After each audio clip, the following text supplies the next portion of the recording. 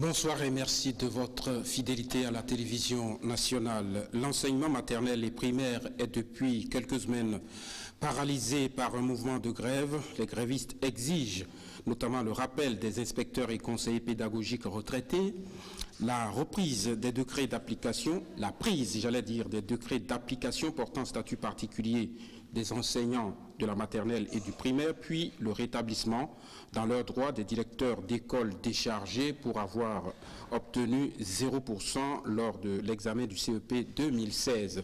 On verra s'il y a d'autres revendications. Malheureusement, pour le moment, nous n'avons pas euh, le syndicaliste. Je vais vous présenter mes invités tout à l'heure. Les dernières négociations du jeudi 26 janvier ont échoué. La base menace même de reconduire encore la grève pour 72 heures si le ministre de tutelle, Salim Karimou, ne revoit pas sa copie avant le mardi 31 janvier. Comment sortir de la crise Pour y répondre, nous avons invité sur ce plateau Monsieur Wilfried Léon Ngbeji, le directeur de la communication de la présidence de la République. Bonsoir, Monsieur Ngbeji. Bonsoir, Doyen. Monsieur Raoufou Affayon, représentant de l'ONG Forum Suisse euh, Bénin, qui joue ici le rôle de facilitateur dans la crise. Bonsoir, Monsieur Affayon.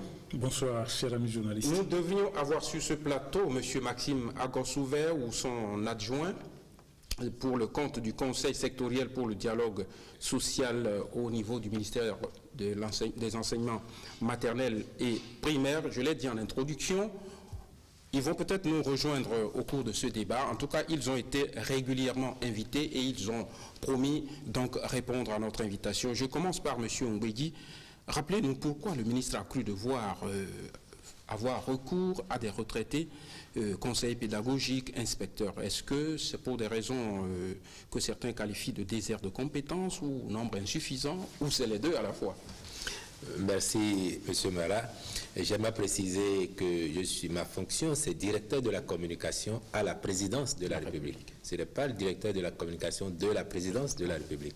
La nuance est importante parce que si vous limitiez la fonction à la présidence, les téléspectateurs et les vis-à-vis pourraient penser que c'est la présidence qui euh, s'occupe directement de leur dossier. Nous sommes une direction de la communication à la présidence parce que nous nous occupons justement de l'ensemble du gouvernement et des organismes publics. C'est ça qui fonde donc euh, la raison de ma présence ici. Pour en revenir à votre question, vous savez que par le passé, nous avons été qualifiés de carton latin de l'Afrique. Ces dernières années, le niveau chez nous a tellement baissé que cela est devenu préoccupant pour l'ensemble des parents d'élèves, pour l'ensemble de la communauté nationale. Ce que j'ai dit est étayé par euh, le rapport du PASEC 2014, comme on l'appelle. Nous sommes membres de la CONFEMEN. C'est la conférence des ministres et de l'éducation et des gouvernements membres de la francophonie, qui a son organisme qu'on appelle PASEC, qui est le programme d'analyse des systèmes éducatifs de la CONFEMEN. Au thème du rapport PASEC 2014, il est apparu que le Bénin est le dernier pays en Afrique francophone. Dernier par rapport à quoi? Système éducatif, la qualité des résultats, la qualité de l'enseignement, c'est un tout. Donc nous sommes derniers en 2014 en Afrique francophone. Vous devez reconnaître, et tous les acteurs, que cela est préoccupant et déshonorant pour notre pays. Est-ce que ceux qui ont euh, produit ce rapport ont dit exactement les raisons pour lesquelles nous sommes les derniers? Oui, et alors j'y viens. Je, je, vous explique et pour que tout le monde et l'opinion comprennent. Dans ce rapport, ce qui a été mis à l'index particulièrement, parmi les causes, les constats, la, synthèse de Très rapidement. Je vous dis rapidement, on note que les écoles privées sont plus performantes que les écoles publiques et ce aussi bien en lecture qu'en mathématiques les élèves inscrits dans les écoles les plus dotées en ressources pédagogiques ont des performances moyennes supérieures à celles de leurs camarades se trouvant dans les écoles les moins dotées. Il y a un certain nombre de constats, mais il y a aussi des pistes suggérées pour corriger. On, va y revenir. oui, j'y viens parce que ça, la, explique, question, ça explique la décision du ministre. Puisque vous m'avez posé la question par rapport à ça. Parmi les pistes de réflexion suggérées, renforcer l'accompagnement des enseignants. Ensuite, réduire les disparités de contexte et de réussite entre les régions et les groupes d'élèves en mettant en œuvre une politique de dotation des régions qui tient compte du niveau actuel des effectifs, des ressources humaines, des ressources pédagogiques et des infrastructures scolaires. Et ensuite, en renforçant, j'en aurais fini, en renforçant l'accompagnement des régions défavorisées. Est-ce que ce que vous voyez bien. Alors concrètement, ça signifie quoi? Aujourd'hui, il y a un problème de compétences, il y a un problème de nombre, c'est un ensemble de facteurs. Et on a identifié les plus pertinents ou les plus préoccupants sur lesquels il faut agir pour inverser la tendance. Et quand vous allez sur le terrain aujourd'hui, vous verrez que en termes de disponibilité, le ministère de l'enseignement, des enseignements maternels et primaires dispose de 52 inspecteurs en activité. Le besoin est de 120, par exemple. Le besoin est de 120. Quand vous prenez les conseillers pédagogiques, on en a 208. Le besoin, c'est 260. Il y a donc un gap qui existe qu'il faut combler. Et c'est en prenant les mesures correctives suggérées que le ministre, en respectant toute la procédure requise, est arrivé à la prise de, l'arrêté qui, met, qui appelle des fonctionnaires retraités, les inspecteurs, conseillers pédagogiques déjà retraités pour venir prêter Donc il y, a, il, y a les, deux raisons. Malheureusement, le syndicaliste n'est pas encore là et on espère qu'il va venir pour euh, réagir à ce qu'a dit M. Oubegui, mais M. Affayon. S'il y a insuffisance d'inspecteurs, de, conseillers pédagogiques, si la qualité n'est pas bonne euh, de ceux qui existent euh, déjà, est-ce que c'est la faute des enseignants? Ben, Je crois que la réponse, c'est bien non. Euh, on, pourrait dire c'est la faute du gouvernement ou de l'État. C'est la faute de l'État employeur. Voilà. S'il y a une insuffisance, il y a une pénurie d'enseignants en situation de classe, d'enseignants en position euh, de conseiller pédagogique ou d'inspecteur ou de membre du corps de contrôle. C'est la faute euh, à l'État employeur. Mais je crois que là, nous sommes obligés de relativiser la question parce que lorsqu'on est dans un environnement où euh, organiser des concours de recrutement, mais il faut passer par la croix et la bannière. Il faut sauter un bon nombre de verrous pour être sûr que le concours à organiser ne sera pas entaché de fraude euh, d'une manière ou d'une autre. Le tout dernier concours qui a été organisé et qui euh, a été salué et sur lequel le gouvernement a été félicité par euh, bon nombre de citoyens, mais j'étais euh, la semaine dernière euh, à un séminaire organisé par le Forum Bénin Suisse et l'un des participants s'est levé pour dire que le concours qui vient d'être organisé et dont les résultats ont été déjà proclamés, mais que ce concours-là est entaché de fraude et qu'il faut annuler. Bon, nous avons cherché à savoir les raisons, les motifs de cette proposition, mais euh, malheureusement, les raisons avancées ne sont pas des raisons défendables. Monsieur Affayon, si Il est reproché aux organisateurs du concours d'avoir accepté des dossiers au sein desquels se retrouvent des diplômes non authentiques. Je crois que c'est un problème soluble. D'accord. Et pour rester encore. Euh, les contrôles qui sont actuellement en cours doivent nous permettre de savoir qui est reçu de façon régulière qui est reçu de façon irrégulière. Mais il ne revient pas aux organisateurs d'un concours de contrôler d'abord l'authenticité des diplômes avant Monsieur, monsieur, pour rester dans le contexte de, notre débat de ce soir, vous dites très bien que ce n'est pas la faute des enseignants, c'est la faute à l'État s'il y a insuffisance de personnel. Vous donnez donc une, espèce de caution, de, légitimité même au, mouvement de ceux qui, non, non, de, ceux qui disent... Là, vous passez à côté de la plaque. Ah non, je passe parce que de la plaque. Et le Forum Bénin Suisse a été très heureux euh, d'avoir été associé à la recherche de solutions au conflit collectif qui oppose actuellement les enseignants organisés au sein des syndicats et leur ministère de tutelle. Et ça, nous les félicitons pour avoir pris l'initiative parce que c'est une première dans l'histoire du mouvement syndical au Bénin. Négocier avant d'aller en grève. Mais il y a beaucoup de cas où nous allons en grève sans avoir négocié parce que toutes les tentatives d'amener l'employeur à la table de négociation euh, échoue.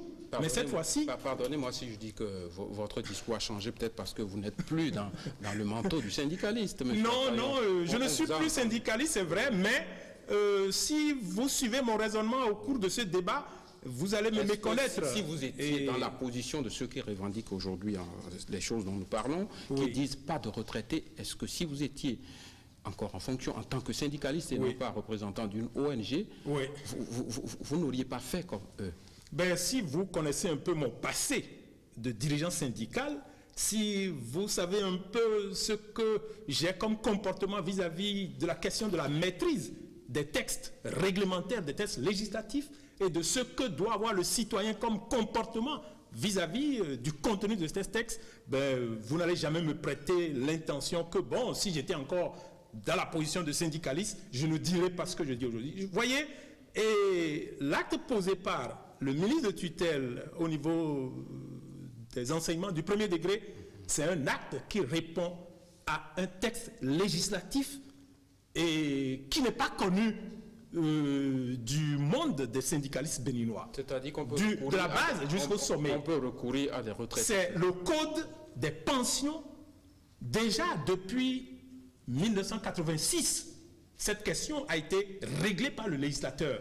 Ensuite, c'est revenu en 2005 et tout récemment en 2015. Le législateur a accepté que ceux qui ont euh, atteint l'âge de 60 ans lorsqu'ils sont cadres euh, à qu'ils euh, soient invités à jouir de leur droit à la retraite. Ceux qui sont euh, à l'âge de 58 ans et de la catégorie B et C, ils doivent partir. Mais le législateur a ouvert une brèche au niveau de l'article 3. Dans tous les textes de loi que j'ai cités tout à l'heure, le législateur a indiqué que le- l'employeur peut rappeler ceux qui ont des compétences dont il a besoin. Si les syndicalistes ne le savent pas, c'est aussi de votre responsabilité, puisque Oui. vous avez été un responsable Et syndical. je l'ai dit pas plus tard euh, qu'hier, au cours d'un entretien téléphonique avec un journaliste, euh, je crois que si l'information n'a pas circulé, ben, la faute est d'abord à l'État employeur qui a le pouvoir de vulgarisation des textes. pas Mais c'est aussi, c'est aussi- pas aussi les la responsabilité des responsables syndicaux, surtout ceux qui sont au niveau des confédérations, mais c'est aussi et surtout la faute des députés qui votent les lois et qui, au cours de leur euh, campagne Ne donc de sensibilisation, d'information en direction de leur mandat, ben, doivent aussi éclairer l'opinion publique, surtout sur les questions à polémique. Merci. Monsieur Mbouidi, quel est, quel est le contenu réel de, de ce contrat avec les retraités? Parce que certains syndicalistes euh, estiment peut-être que euh, ils ont des salaires euh, énormes. Qu'en dites-vous? Est-ce que vous pouvez nous donner quelques axes du contenu euh, du contrat avec les retraités en question? D'a- D'abord, c'est sur euh, la pertinence du rappel des retraités qu'il faut opiner pour dire que ça n'est pas une mesure fantaisiste du ministre ou du gouvernement. Vous avez tout à l'heure, à l'aune des chiffres que j'ai évoqués, compris qu'il y a un besoin en personnel d'encadrement qui n'existe pas au niveau de ceux qui sont encore en fonction.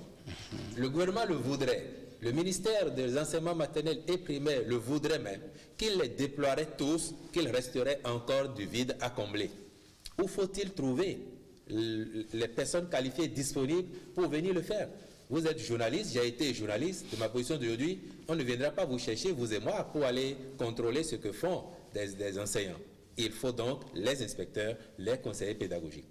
Et la pratique courante, régulière dans notre pays, a toujours consisté à faire appel à des inspecteurs, des conseillers pédagogiques retraités pour venir combler le gap. La seule différence aujourd'hui, c'est peut-être qu'en une fois, on a appelé plus d'une centaine, que cela a été formalisé et formalisé. Déjà en septembre 2016, le ministre des Enseignements maternels et primaires a soumis une communication au Conseil des ministres qui l'a approuvé et l'a autorisé à recourir à cette méthode-là. Il est allé en comité sectoriel de dialogue social présenter la réforme aux partenaires sociaux qui l'ont approuvée. Quand vous dites partenaires sociaux, est-ce que ceux qui vont en grève aujourd'hui étaient... Ils y étaient. Ah ben. Dans ce comité, les- il y a un bureau syndical. Je veux la confirmation du facilitateur. Je ne sais pas s'il était... Oui, euh, il y a une aile syndicale et une aile euh, administrative au niveau du bureau du Conseil sectoriel pour le dialogue social. Alors, Ils y étaient. Ils y étaient. Euh, oui, ils y étaient. Et ils ont étaient. accepté le, le- le principe au, départ. Euh, selon les informations que nous avons reçues à la séance du 13 janvier où j'étais présent, ben, chose, le ministre a rappelé qu'il a fait un exposé sur la question et les partenaires étaient pour le principe. Je vous laisse Mais poursuivre. il y a un responsable syndical qui avait émis des réserves pour dire euh, attention, ne nous faites pas revenir euh, les vieux démons. Alors, qui sont les vieux démons euh, Où est-ce qu'ils existent? Mais sur la question, nous avons trouvé un terrain d'entente, mais qui malheureusement n'a pas été accepté par la partie syndicale. Je vous ai coupé euh, Oui. votre idée parce que je vous ai posé la question du contenu du contrat et vous expliquez. Je, je viens- je vous explique tout ce qui l'entoure, Très bien. déjà pour vous rassurer de la pertinence de la démarche et de sa régularité. Donc, on a fait ça. En comité sectoriel, la réforme a été présentée. C'était le 20 décembre. Ils ont fini le 22. Le 20 décembre, le ministre a présenté sa réforme. Il a eu l'approbation des gens. Le 21, comme la réforme est pensée depuis septembre, le 21, le ministre a signé les arrêtés. C'est vrai, je cite ça parce qu'aujourd'hui, certains syndicalistes disent, ah oui, mais donc il avait déjà tout préparé. Évidemment que l'État doit anticiper. C'est ça être responsable. Il a préparé la réforme, il a obtenu le quitus du gouvernement, il a veillé à obtenir l'accord des partenaires et le lendemain, il a signé les, arrêtés. La réserve dont parle euh, le, le SGA Fayon, c'est vrai, elle a été soulevée par des syndicalistes qui disent oui, et vous voulez rappeler des gens. D'accord sur le principe. Mais il y a des gens que nous avons vus ici à l'œuvre qui n'auraient pas eu de bons rapports avec nous, qui n'auraient pas eu de bons comportements.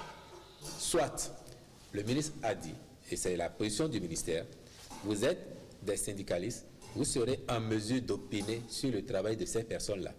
Le ministre avait dit au bout de cinq, cinq mois, pour tenir compte du temps qu'ils vont exercer au cours de l'année.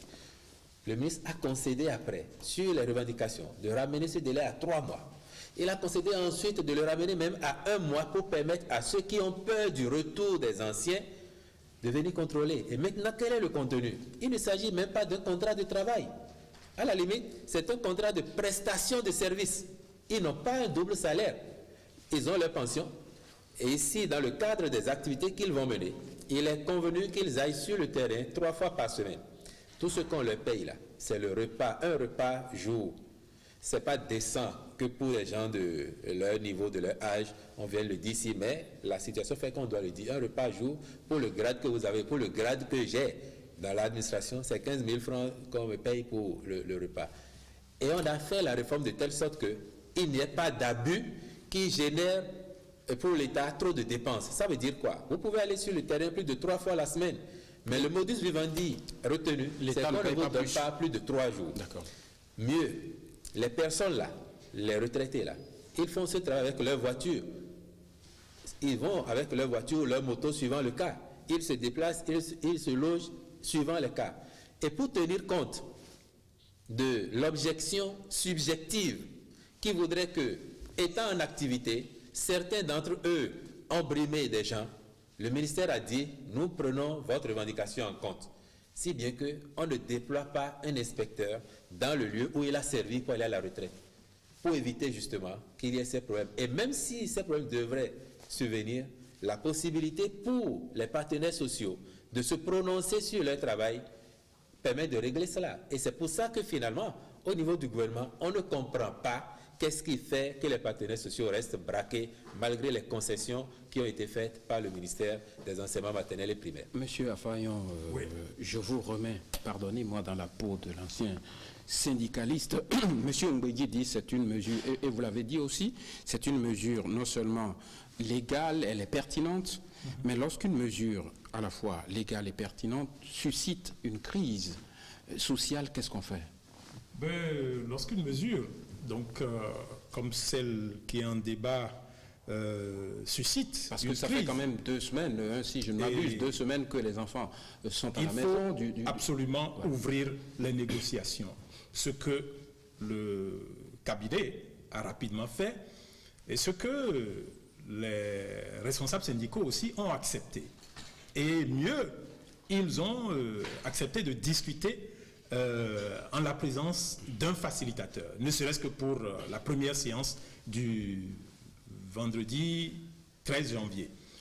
Et lorsque vous acceptez d'aller à la table de négociation, ben, il faut comprendre que ce que vous avez comme revendication initiale, euh, il y a des chances que vous puissiez, au bout du rouleau, au bout des discussions, gagner la totalité de ce que vous avez, ou ben, gagner une partie de ce que vous avez comme objectif.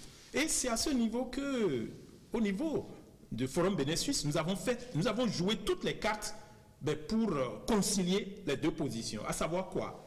D'abord, nous avons cité des instruments nationaux et internationaux en matière de contrôle des enseignants en situation de classe pour dire que les enseignants qui vont recevoir la visite des inspecteurs ou des conseils pédagogiques, ils ont le pouvoir d'avoir connaissance de la note qui leur a été attribuée. Ça n'existait pas hier. Donc l'inspecteur d'aujourd'hui n'a pas les mêmes pouvoirs que l'inspecteur d'hier ou d'avant-hier. Ça, il faut que les collègues comprennent. Deuxièmement, s'ils ne sont pas contents de la note qui leur a été attribuée, ils peuvent exercer leur droit de recours au niveau de la direction de l'inspection pédagogique ou, en dernier ressort, au niveau du bureau du Conseil sectoriel pour le dialogue social. Vous leur avez dit tout ça Nous l'avons dit tout ça, mais ils étaient restés un peu hermétiquement fermés aux informations. Et c'est là que j'ai compris ce qui se passait. Ils sont arrivés à la table de négociation avec la motion de grève en poche. Et cette motion était signée depuis le mercredi avant le vendredi. Alors, lorsque... Qu'est-ce que vous insinuez euh, Oui, lorsque vous allez à la table de négociation, vous, vous devez absolument éviter les a priori, les idées arrêtées. Alors, lorsque vous avez déjà une motion, mais ça veut dire que tout ce que vous allez entendre à la table de négociation, ça ne changera pas votre position. Je ne veux pas vous choquer, mais j'ai l'impression d'entendre un autre affaillon. Non, pas du tout. Euh, J'avoue que je n'ai personnellement jamais dirigé euh, une séance de ce genre. D'accord. Donc, je ne me suis pas retrouvé dans la même position. La séance que j'ai dirigée et qui a été une séance historique, c'était après la grève que nous sommes retrouvés à la table de négociation avec un représentant du gouvernement.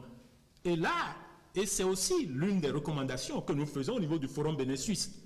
Lorsque vous ouvrez les négociations, vous devez négocier de façon continue. Ça peut être en deux jours, en trois jours. Vous videz les problèmes qui sont en instance avant de dire nous sommes arrivés au bout des négociations. Maintenant, les syndicalistes sont libres de prendre leur position. Mais lorsque vous négociez un jour par semaine, un peu comme certains membres du gouvernement ont l'habitude de faire. C'est avec le ministre Koupaki que nous avons fait cette expérience. Et c'est ce que recommande le Bureau international du travail. Lorsque vous ouvrez la négociation, vous devez éviter tout retard injustifié. Vous devez négocier d'arrache-pied. Mais en 2010, sur une question capitale comme la question des 25% qui devait accompagner les enseignants à la retraite, mais nous avons négocié quatre jours, non pardon, trois jours, nous avons trouvé le terrain d'entente. Il y a eu des concessions de part et d'autre. Le quatrième jour, nous avons adopté le procès verbal. Le cinquième jour, nous avons rendu compte au chef de l'État. C'est comme ça que ça se passe. Mais négocier un vendredi, le vendredi suivant, c'est une démarche qui ne prospère pas. C'est une démarche qui, qui, fait le lit à tout ce à quoi nous assistons actuellement. Donc, euh, avant déjà d'arriver à la table de négociation, la motion est déjà en poche. Et donc, si les syndicats doivent aller rendre compte à leur base de, des résultats de la séance de négociation, mhm. ben, c'est que déjà, ils se voient obligés de les contraindre à suivre la motion qui est déjà déposée. Donc, c'est cette démarche que nous pouvons éviter si nous savons gérer le temps de façon rationnelle. Hélas, les membres du Conseil sectoriel pour le dialogue social, je veux dire les syndicalistes, n'ont pas répondu à, notre invitation. Ils auraient pu s'expliquer sur ce que vous venez de dire. Il y a un deuxième point, M. Ngwedi. Euh, je ne sais pas si vous avez d'autres choses à ajouter sur ce premier point, mais il y a un, second point important, c'est la question du décret d'application portant statut particulier des enseignants euh, de la maternelle et du primaire. Qu'est-ce qui bloque euh, la prise de ces actes, M. Ngwedi Merci bien. Sur le premier point, je voudrais conclure pour rassurer l'opinion que le gouvernement soucieux du dialogue social et soucieux de l'avenir des enfants, a déployé tous les efforts qu'il convenait de déployer en l'espèce, en allant jusqu'à faire des concessions que j'ai énumérées tout à l'heure pour que les partenaires sociaux comprennent que le gouvernement n'a aucun intérêt à engager un bras de fer avec eux. Il s'agit pour nos enfants d'avoir une éducation de qualité. Il s'agit pour les parents d'élèves de faire confiance à nouveau au système éducatif public Parce qu'on vous l'a dit, les résultats sont meilleurs dans le privé que dans le public. Et tous les parents n'ont pas les moyens d'envoyer les enfants dans les écoles privées. L'école de la République, c'est d'abord l'école publique. Et le paysan, l'artisan, le riche qui ne veut pas envoyer son enfant dans une école privée, doivent tous pouvoir les mettre dans l'école publique avec la confiance qu'il s'y déroule des cours de qualité avec des enseignants de qualité.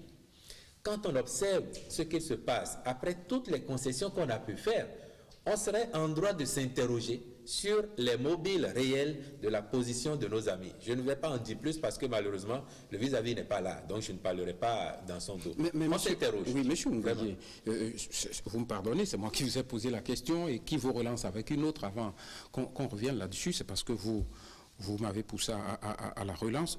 Vous, avez dit euh, il y a un instant, le ministre a fait des concessions. On parlait de six mois, on les laisse travailler, on les évalue. Finalement, il a accepté que les inspecteurs travaillent jusqu'au congé de, détente et qu'on pourrait les évaluer. Mais s'il a fait toutes ces concessions, j'ai l'impression que c'était possible de ne pas le faire, c'est-à-dire euh, d'accepter ce que demandent les syndicalistes. Non, les syndicalistes, ne, ce qu'ils revendiquent, ce n'est pas de ne pas pouvoir évaluer. Eux, actuellement, ils disent qu'il faut sortir ces gens-là du système. Or, je vous ai montré que le besoin est là, tant Là-dessus, ils ne nous démentiront pas. Les chiffres sont insuffisants en termes de disponibilité. Mais si l'évaluation montrait leur euh, insuffisance ou euh, un manque de performance, puisque vous parlez des Non, des inspecteurs en question. oui, alors le manque de performance, c'est qui? Ce n'est pas l'enseignant qui est en situation qui va montrer que l'inspecteur est défaillant. Mais pourquoi alors on veut les évaluer Non, s'il vous plaît, l'évaluation en question, ils vont se prononcer sur la façon dont les gens font leur travail. Parce qu'ils ont des a priori. Aujourd'hui, les régions pédagogiques définies ont comme responsables des inspecteurs en activité. Il y a 28 régions pédagogiques déterminées par la réforme. C'est des inspecteurs en activité qui sont les responsables de ces régions.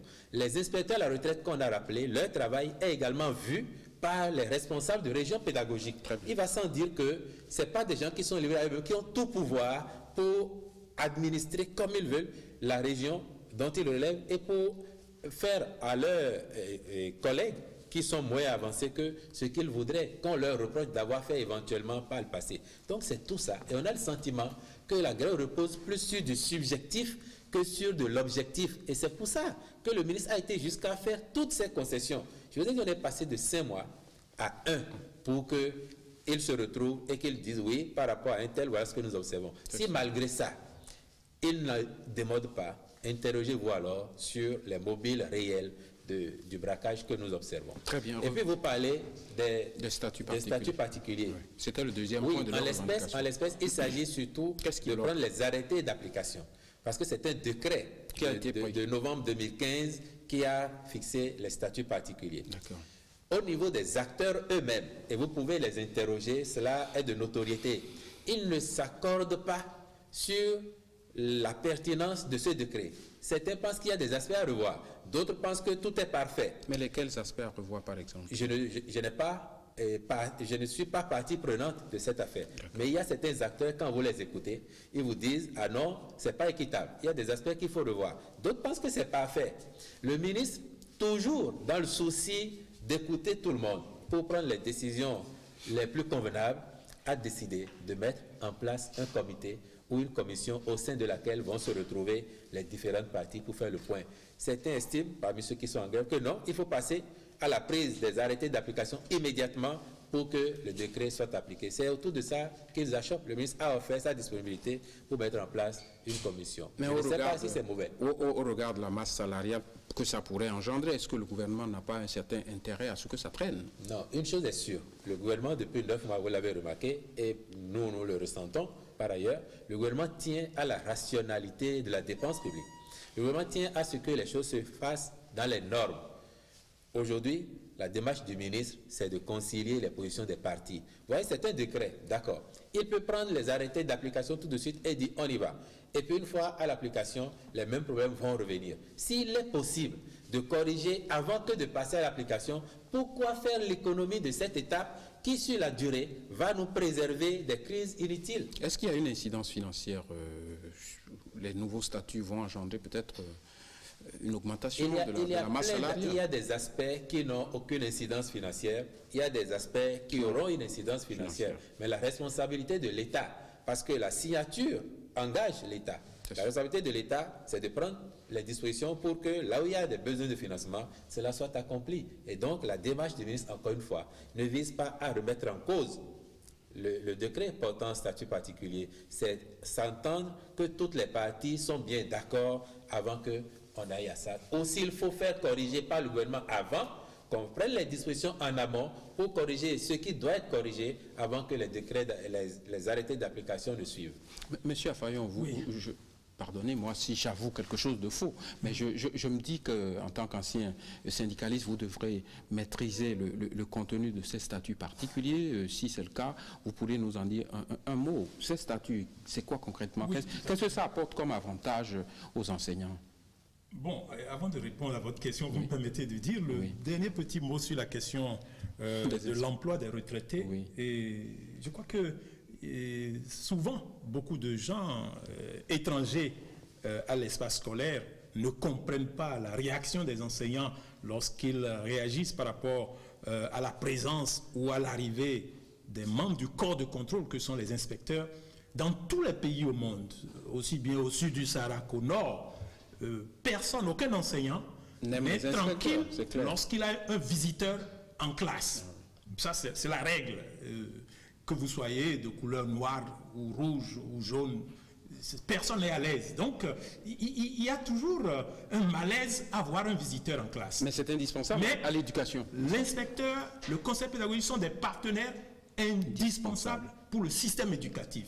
Ils sont là pour le contrôle, ils sont là pour l'évaluation, ils sont là pour détecter les dysfonctionnements du système, ils sont là pour proposer des solutions de rémédiation. Très bien. Maintenant, ce qui sont dans le métier, ils savent comment le faire. Donc, Maintenant, par rapport au statut. Par rapport au statut. Qu'est-ce que ça apporte aux enseignants Ce que ça apporte aux enseignants, ben, c'est euh, un instrument de travail et qui permet de faire euh, une avancée euh, dans le cadre donc, de la prise en compte des conditions d'évolution des enseignants dans la carrière. Donc il y a un peu plus de fluidité dans l'évolution euh, des enseignants dans la carrière. Il y a un peu plus d'avantages pour motiver les enseignants qui euh, sont à la tâche, qui évoluent dans le métier, contrairement à ceux qui arrivent en début de carrière et au bout de quelques mois, ils sautent pour atterrir dans un ministère où il fait plus frais. Donc les enseignants euh, ont beaucoup d'avantages pour les motiver. Les enseignants, avec ces nouveaux statuts particuliers, ont aussi des mesures de sanctions pour les cas d'indiscipline, pour les cas de dérapage professionnel. Donc, euh, c'est un tout. Et ce sur quoi je voudrais insister par rapport à ce qui se passe actuellement autour de cette revendication, ben, c'est qu'au niveau du Forum Bénin Suisse, nous pensons qu'avant d'aller à la prise des arrêtés d'application, il y a des préalables à régler. C'est lesquels? Parce que le contexte dans lequel les statuts particuliers des enseignants au primaire, au secondaire et au supérieur, le contexte dans lequel ces statuts ont été pris, c'est un contexte particulier. C'est quoi la, la norme administrative quoi la particularité du contexte La norme administrative, c'est le statut général révisé qui éclaire, qui oriente le travail à faire au niveau des statuts particuliers. Mais sous la pression syndicale qui a duré plus d'une décennie, les enseignants, en commençant par le supérieur, ont arraché au gouvernement ben, la prise du décret portant statut particulier sans le statut général. Alors, aujourd'hui, nous avons des statuts particuliers. Il y, a pas mal de secteurs de, la fonction publique qui bénéficient de, statuts particuliers. Oui, oui, oui, mais les statuts particuliers dont nous parlons, c'est des statuts particuliers totalement différents des anciens. Nous parlons des statuts particuliers qui ont commencé à exister, à, être toilettés à partir de 2010. C'est l'université qui a ouvert le bal et le secondaire et le primaire ont emboîté les pas à leurs aînés euh, en 2015. Alors, donc ces statuts particuliers n'ont pas bénéficié de tout l'éclairage qu'il faut du statut général. Ces statuts particuliers n'ont pas bénéficié des orientations, par exemple sur la question de l'harmonisation des primes, des accessoires du salaire. Ben, le champ est ouvert euh, comme ça a toujours été le cas par le passé. Donc, je crois que s'il y a un travail à faire tout de suite, c'est qu'il faut tout faire pour que le statut général qui est actuellement au niveau de la Cour constitutionnelle, que le statut qui est déjà voté, euh, chose, pardon, pardon, euh, oui, le statut général des agents permanents de l'État qui est déjà voté par l'Assemblée, puisque c'est une loi, que ce document sorte de la Cour constitutionnelle qui a déjà contrôlé la constitutionnalité du document et que maintenant, il y a un travail de relecture de, des trois statuts particuliers euh, pour voir, pour, pour mettre le contenu en adéquation avec les orientations du statut général. Mais cela ne veut pas dire qu'il faut remettre en cause les acquis qui sont déjà dans ces trois documents. Mais Alors, ceux qui, ceux qui se plaignent pour dire qu'ils ne sont pas d'accord avec le contenu, je crois que c'est un combat perdu d'avance. Euh, euh, administrativement, euh, chose, de façon technique, on ne peut pas aller dans ce sens parce que pour adopter les statuts particuliers, ça a été un long processus. Ce n'est pas une question de mois, ce n'est pas une question de semaines. Ça, a duré toute une année. Alors, donc, toutes les composantes de l'école et même de l'administration publique et même des finances ont travaillé à la confection de ces documents. et ceux qui ne se retrouvent pas là-dedans, ben, je crois qu'administrativement, ils peuvent attendre la prochaine révision de ces documents oui, monsieur, pour que monsieur leurs intérêts soient pris en compte. C'est ce que nous pensons Merci. Et au niveau du Forum Bénin Suisse pour que les choses aillent bien. Monsieur Mbaïdi, euh, euh, la relecture, puisqu'on dit que ces décrets, euh, on n'est pas d'accord sur tous les aspects, je pense que le gouvernement a intérêt à avoir un climat social apaisé. Qu'est-ce qu'il faut pour accélérer le processus de, de relecture de tout ça? Oui, le gouvernement travaille à ça. Et c'est ça qui justifie la démarche du ministre, justement. C'est-à-dire que, comme on ne s'entend pas tous sur le contenu, dès que vous allez vous retrouver, relevez les points qui vous semblent faire polémique. Et autour de ça, s'il faut suggérer la relecture au gouvernement dans ce sens, on le fera pour que quand adviendront les arrêtés d'application, il n'y ait plus de problèmes qui surgissent. C'est une démarche qui vise à prévenir en fait les conflits et rien d'autre. Peut-être que certains amis ont le sentiment qu'en faisant comme ça, on veut retarder les choses. Non, il n'en est absolument rien. C'est simplement pour la régularité, pour la transparence et pour la bonne quiétude de tous.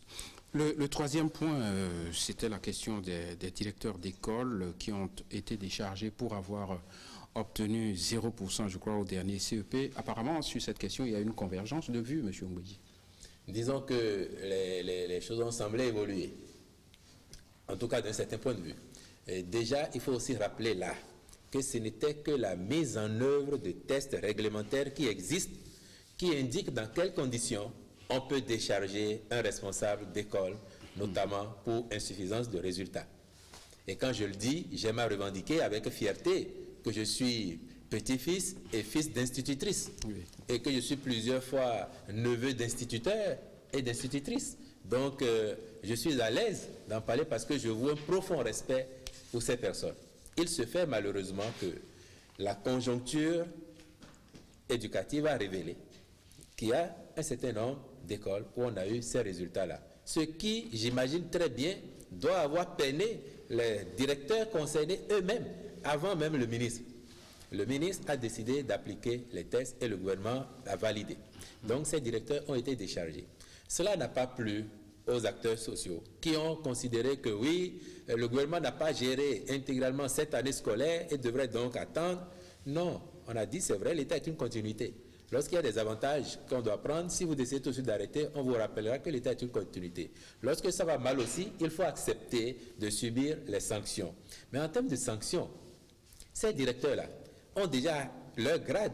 Ils ont passé leurs examens, ils ont fait leur parcours, ils ont toujours rendu directeur. Et donc, l'avancée aujourd'hui, c'est quoi?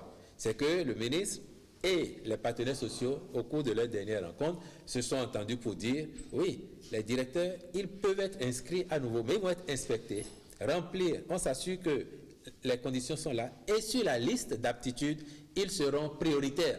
Donc, dès qu'il y aura des postes à pouvoir, c'est d'abord parmi eux qu'on va prendre. Et je crois que sur ce point-là, au moins, euh, l'accord semble avoir été trouvé. Et je demande quand même à M. Affayon, euh, toujours euh, dans le manteau de l'ancien syndicaliste, est-ce que vous trouvez juste qu'on décharge des directeurs parce qu'ils ont fourni 0% à, un examen? Est-ce que euh, l'échec leur est imputable? Bon, vous savez, lorsque vous prenez une école, ben, elle est dotée d'une administration. Et le premier responsable sur le plan administratif, sur le plan pédagogique, sur le plan financier, ben, c'est le directeur. Donc, euh, si ça va bien, ben, c'est lui qui est le premier à récolter les fleurs, mais si ça va mal, c'est lui aussi qui, récolte euh, les, sanctions. Ça dépend de ce qui va mal. Euh, ce que j'ai personnellement comme réserve sur la question de la décharge des directeurs, c'est que, vous voyez, c'est un acte administratif qui a prévu euh, cette décision et cet acte existait depuis 2012. Mais bon, comme on était dans un état de non-droit. Pourquoi vous dites de non-droit? Oui, mais un état où euh, la réglementation n'est pas respectée, un état où la législation n'existe que de nom, ben c'est un état de non-droit. Alors donc, euh, les textes existent, mais il n'y a personne pour les appliquer. Alors, le gouvernement euh, de la rupture est arrivé en avril 2000. Non, monsieur Afayon, je ne vous coupe pas, pardonnez-moi. Euh, très sincèrement, en regardant les téléspectateurs, si vous étiez parmi ces directeurs qui, euh, dont les établissements ont eu 0% à l'examen du CEP. Vous, aurez été d'accord Je n'ai pas obtenu les résultats, on me décharge sans faire du bruit. Le syndicaliste Afayon que, que, je, connais, monsieur. Très sincèrement. J'avoue que. Très sincèrement. Et J'aurais, certainement euh, obtempéré, j'aurais décidé de respecter euh, le texte euh, réglementaire qui a conduit à cette décision, mais j'aurais quand même exprimé des réserves. J'aurais certainement peut-être cherché à exercer mon droit de recours.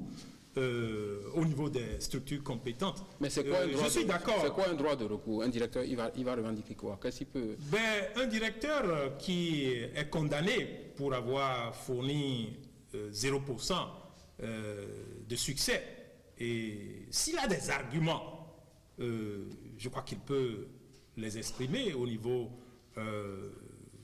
des structures compétentes. Bon, celle qui me vient à l'esprit tout de suite, ben, c'est la Cour constitutionnelle. Je peux euh, saisir la Cour constitutionnelle pour demander quel contrôle, euh, chose, le caractère constitutionnel ou non, de cet acte. Oui, au moins, je crois qu'en tant que citoyen, nous avons ce pouvoir.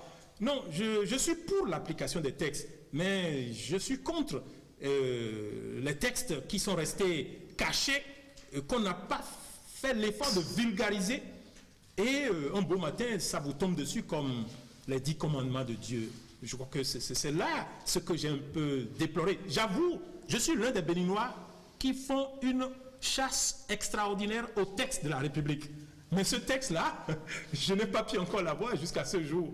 Et je profite de votre micro pour demander au cabinet du ministre des enseignements maternels et primaires de travailler à la vulgarisation des textes relatifs euh, au sujet à polémique. Très bien. On, tend vers la fin de l'émission et je voudrais, afin de donner la parole à M. Oubegui, ce n'est pas encore le dernier tour table, hein, mais euh, si les syndicalistes euh, étaient sur ce plateau, c'est sûr qu'ils auraient euh, aimé qu'on aborde la question. On l'a abordé lors d'un précédent débat. Ben, je, vais avoir quand même l'avis de M. Affayon là-dessus. la question des reversements massifs qui ont gonflé les effectifs de, de la fonction publique on est passé du simple au, double pratiquement. Mhm. Et aujourd'hui, le gouvernement demande qu'on fasse un audit de la fonction publique. Qu'est-ce que vous en pensez? Bon, je crois que faire un audit de la fonction publique, euh, c'est une bonne chose. Si euh, cette activité peut permettre bon, de détecter euh, ceux qui, choses, ont réussi à s'infiltrer frauduleusement dans les rangs.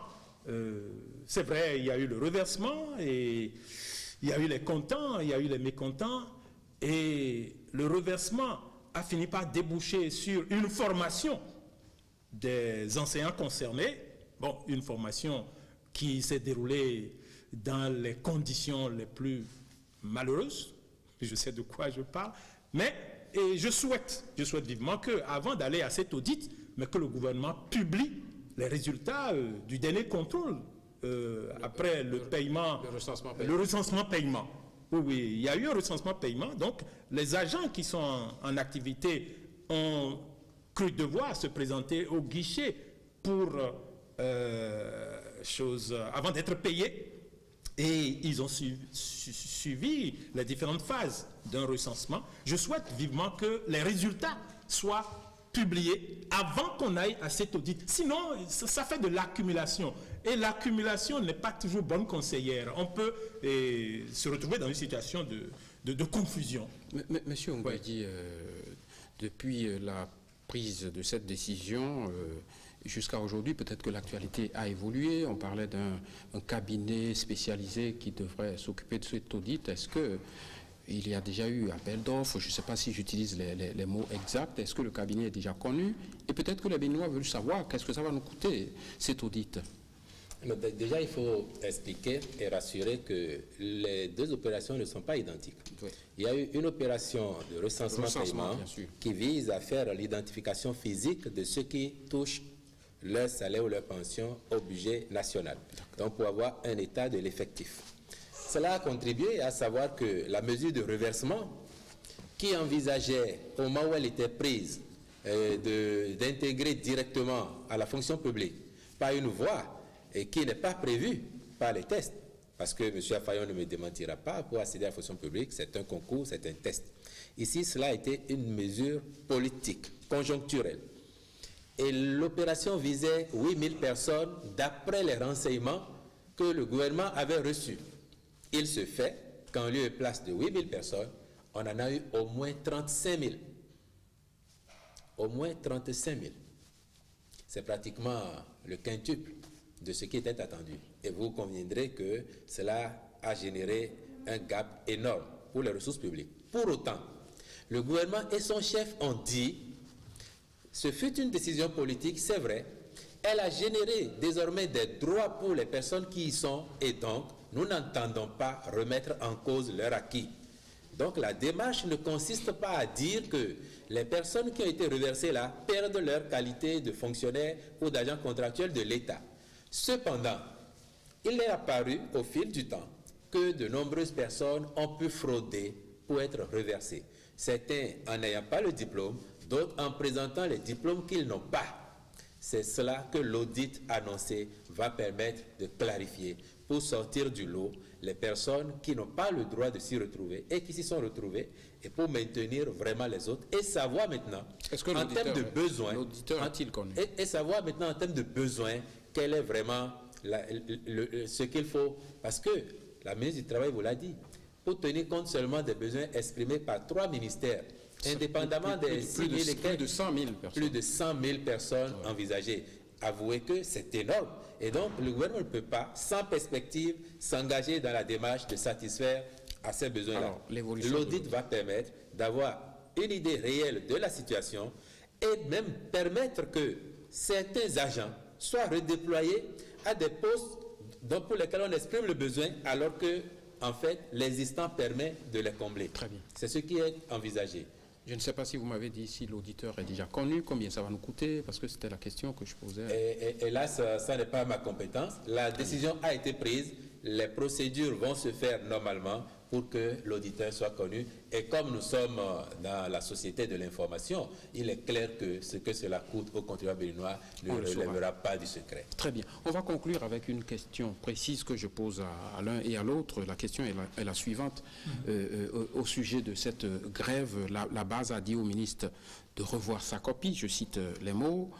Faute de quoi elle reconduira la grève de 72 heures Comment voyez-vous l'avenir de, nos enfants Et, qu'est-ce que vous dites aux syndicalistes Pour conclure, M. Afayan. Ben, je crois que pour conclure, et en liaison avec euh, euh, ce message euh, assez malheureux de mes collègues responsables syndicaux, à savoir que, bon, le mouvement est parti pour durer dans le temps et je pense sincèrement que c'est un peu triste euh, que euh, cette situation euh, vient encore une fois assombrir les horizons de l'école béninoise. Et du fait un peu du manque d'informations, un peu du fait et de la volonté et d'en découdre avec un système et, euh, à travers lequel on ne voit qu'un homme. Derrière qui? Ben, Il y a des écoles, il y a des enseignants, il y a des élèves. Euh, je, crois que et je ne peux pas ne pas inviter mes collègues à renouer avec la vertu du dialogue, renouer avec la vertu de la négociation. Et lorsque l'on négocie de bonne foi, ben, euh, on doit tout mettre en œuvre pour éviter d'avoir des idées arrêtées avant d'aller à la table des négociations. On doit tout mettre en œuvre pour éviter des retards injustifiés au cours de la négociation. Très bien. Donc la négociation doit aller vite et bien, et on trouve toujours une solution, une, solution, une porte de sortie de crise. Monsieur Ngaye, votre mot de conclusion Monsieur Fayon parlait de bonne foi. Dans les principes généraux des négociations collectives, vous retrouverez que parmi les ingrédients nécessaires, la bonne foi, la confiance mutuelle sont essentiels. Le gouvernement a fait la preuve de sa disponibilité à écouter les acteurs sociaux. Le gouvernement a fait la preuve de sa bonne foi donc et, de la confiance qu'il place en ses vis-à-vis. Il attend la même attitude de la part de ceux-là. Et il veut surtout que l'opinion comprenne, que les parents d'élèves comprennent que, en l'espèce, il a fait ce qu'il convenait de faire, aussi bien en amont qu'en cours de mesure maintenant, pour se faire comprendre de ses partenaires sociaux.